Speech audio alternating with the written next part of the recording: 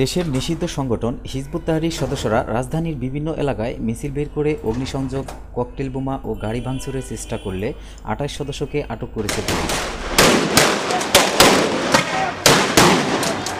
শুক্রবার জুমার নামাজের আগে রাজধানীর সেগুনবাগিচা মৎস্য ভবন বিজয়নগর হাইকোর্ট এলাকায় হিজবুত তাহরির সদস্যরা মিছিল বের করে। এ সময় তারা প্রেস ক্লাবের সামনে আসার চেষ্টা করলে পুলিশের সাথে ধাওয়া পাল্টা ধাওয়ার ঘটনা ঘটে।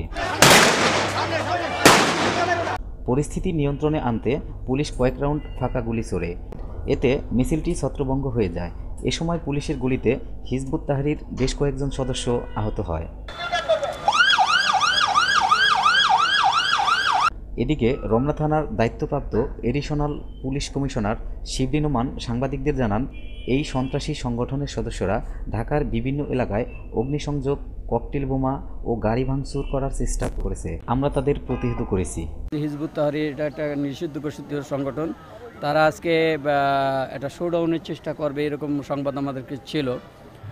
তবে টাইম ছিল একটু আলাদা, কিন্তু তারা নামাজ শেষ হওয়ার আগেই বেরোয় পড়ছে। তো আমরা ইতিমধ্যে অভিযান চালিয়েছি এবং উল্লেখযোগ্য সংখ্যক তাদেরকে আটক করেছি। তারা বোমাবাজি করেছে গাড়ি ভাঙচুর করেছে এবং অগ্নি সংযোগের চেষ্টা করেছিল।